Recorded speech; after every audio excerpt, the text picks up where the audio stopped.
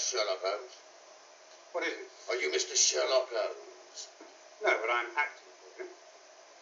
Come about yourself to me. But if you have any information, you may give it to me. There's a reward. Is it about the steam launch? I'm a police officer. One. No, you will be recompensed for your loss of time. You will not have long to wait. Sit down. Cigar, Mr. Jones. Oh, saying, Doctor, I consider your friend is with a little more discipline and a lot less theory. Thank you. You might offer me one.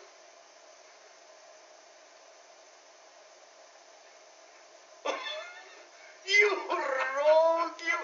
You would have made an actor, and a rare one. You had the prompt. Officer, I'm flattered. Jones, I shall need a police